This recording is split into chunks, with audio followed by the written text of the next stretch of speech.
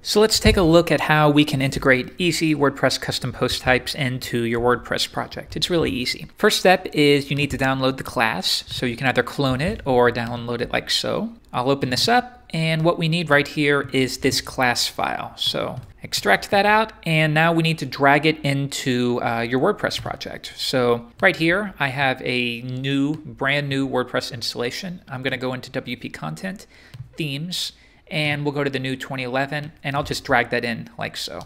Okay, so next let's work on this in Sublime. Okay, and now let's get started. We have our class. Now you want to go into your functions file. In this case, I'm just using the, uh, the base WordPress function file, but that's fine. And we need to require that. So JW custom post.php. And now we have access to this class specifically. So let's take a look at how we can create a custom post type first. It's really easy. Let's say we're going to create something for movies. It's fairly common to, uh, to show a movie database.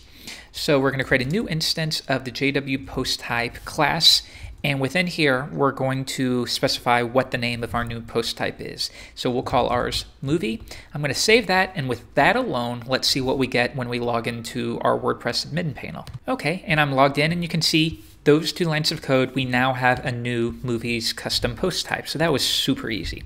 The next step is though, we want to be able to specify exactly what is displayed here. And right now it's just using the defaults. But what if we want to say Within here, I can pass an array, and this can override any of our options. So I can say supports, and we'll pass an array and say it supports maybe the title alone.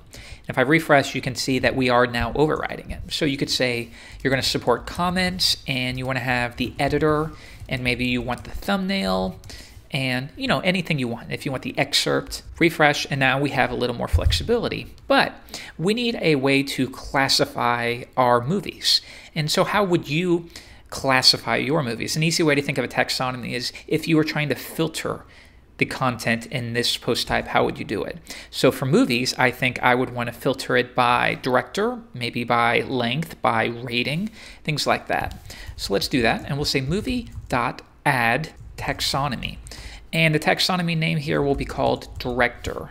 So let's save that. And if I reload, now we have a new director taxonomy. And if we come back here, you can see it's added this new panel for you, and that's been done automatically for you. Good. Now let's add a couple more. And we'll say we'll search by actor, and I'd also like to search by rating. There we are, and now we have some taxonomies, and here they are set up in the sidebar. So good, we have a lot of flexibility now, but I also would like to create a meta box because there might be some additional information about the movie you want to pass rather than just simply a big description. Uh, what about a, a, final thought? Maybe a different kind of review, maybe, I, I don't know, lots of stuff that you could do. So we will add movie, add meta box. The first parameter is going to be what is the name. So we'll say additional info. If I reload, now we have this new additional info panel. But of course, you want to actually display some fields here. So why don't we say quick review? Maybe people can see the two sentence review of the movie. So that is going to be, we could do a text, or if you want a little bit more space, we can give them a text area. Now if I reload, that's all set up and it's automatically going to save everything for you. You don't have to do that. And let's do one more maybe. Maybe we'll do thumbs. Will this be thumbs up or thumbs down? And that'll just be a text. And then lastly, to show you, you can also do select elements. Let's say we decide not to make rating the taxonomy. We can make that just an option here. So we'll say rating.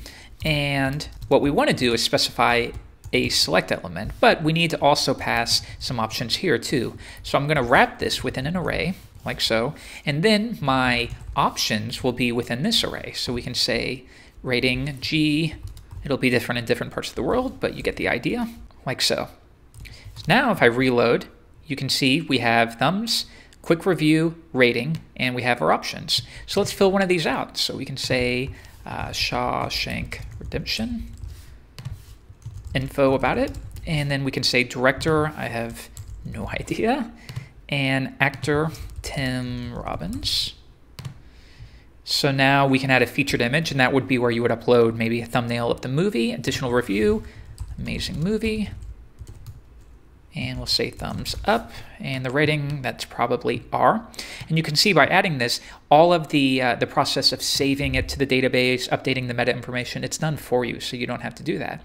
Then the work of this class is done. All you need to do is uh, create a custom page template so that you can show all of this information on your page however you want. But the process of actually getting it added in the system, as you can see here, we did 12, 13 lines at most. So let me know if you have any questions. And again, you can download it here.